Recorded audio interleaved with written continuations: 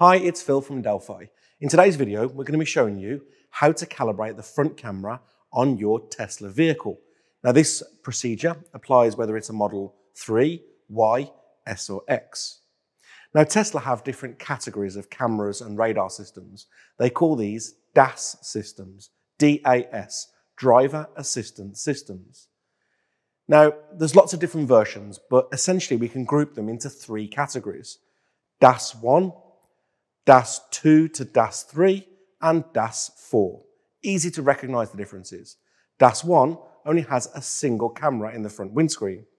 The middle ones, DAS 2, 2.5 and 3, have three cameras in the windscreen, and DAS 4 has two cameras in that front windscreen. The procedure we're going to do today refers to DAS 2, 2.5, 3, and 4. It does not include DAS 1.0. So essentially what we're going to do is the camera calibration is done in two sections. The first section is a pitch verification. We're going to make sure the angle of the camera in the windscreen is pitched at the right angle.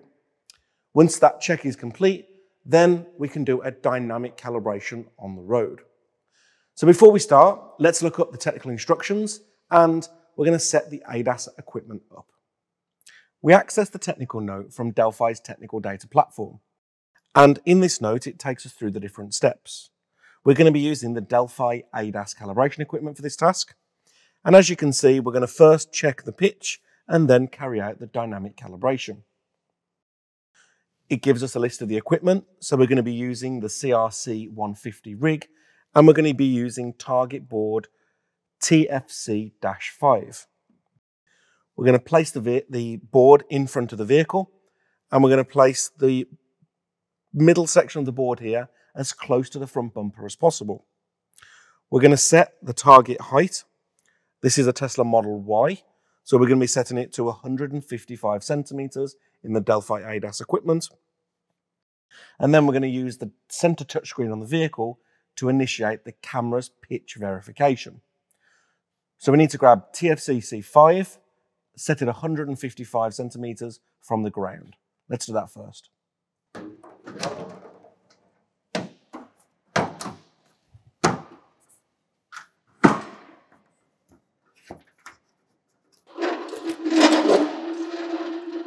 So we've put the ADAS kit with the TFC5 um, board on. We have to set the rig as close to the front bumper as possible. With the board on, we're now going to set the height of the board um, as per the instruction notes at 155 centimeters. So I'll first lower the ruler down till it touches the floor. Then I make my adjustment all the way to 155 centimeters. So that's the ADAS equipment set up correctly. Just making sure as well that it's fairly parallel to the vehicle. But unlike other vehicles where having it parallel to the rear toe is extremely important, on this vehicle it's not because we're only doing a pitch verification. Um, none of the other angles come into play. So let's head into the vehicle, onto the touchscreen, and let's check the pitch. Right, the CRC 150 ADAS equipment is set up. As you can see here, we now need to follow the procedure through. We're going to enter service mode, and I'll show you how to do that on the screen in a moment. We're going to go all the way through into the driver assistance system, and essentially what we're looking for is the line on the screen is in line with the top of the first box on the left-hand side. On the screen, there is also then a tolerance, which you'll see in a moment. If it's within that tolerance, we're good. If it's outside of that tolerance, then first we would need to, as you come through, see here, on the technical note, it tells you here to reset the DAS system, clear any current calibrations, make your adjustments, and then continue the calibration. So let's have a little look now. We'll go into service mode and check that.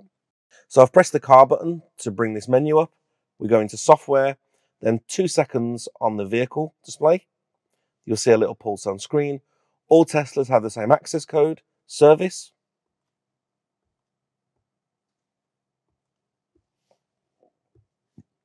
Once we're in service mode, we can go to driver assistance systems and we can go to cameras. So we can see the current values that are stored in. We go to camera preview it will load up and then you'll see the display as we spoke before and you'll see the camera where it looks on the board. Now, on this car, this is a DAS 3.0. So this has three cameras at the front, main, wide, and narrow. You can see on the main camera, the blue line should ideally be at the top of the square, but it's within the two green lines, so it is within tolerance. We do the same check on the wide camera. Again, looks good. And then finally we go onto the narrow camera and we can see that's good again. So you, can even see the slight variation between the cameras which are in the single frame mount. Now to make the adjustment, it's quite simple. We clear the calibrations first. So if we go back off here, we reset the DAS system, we clear the camera calibration, and then make the adjustment. There is a small adjustment screw behind the mirror.